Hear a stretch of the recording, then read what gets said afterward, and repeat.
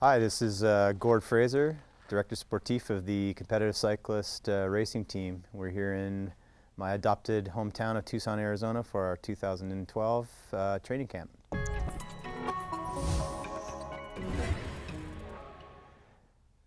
I think uh, we've had a great start to our training camp this year, but the, I think the biggest buzz uh, so far with the guys have been the uh, has been about the bike. Um, Pinarello has, a, an incredible reputation for, for their bikes, and I think the guys are finding out why.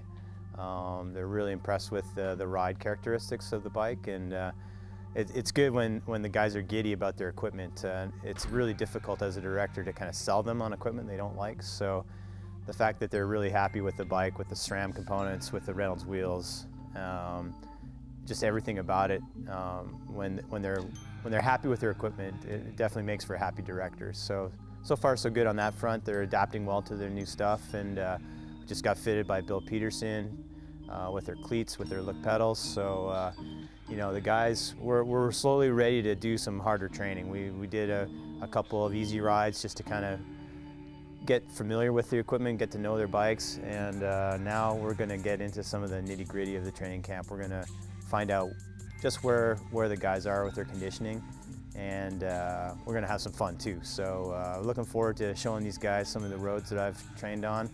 We're going to do mostly a flat ride today. Uh, we're going to do Kitt Peak tomorrow, which is a, a 20, uh, 20 kilometer climb west of town. Um, so they'll be able to definitely strut their stuff on the climb uh, up to Kitt Peak. So, uh, so far so good for the Competitive Cyclist Training Camp 2012.